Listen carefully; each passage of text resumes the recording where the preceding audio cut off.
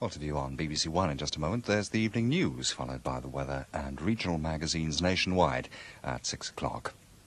Here on two, we start the five faces of Doctor Who with William Hartnell in part one of the first ever Doctor Who story dating from November 1963.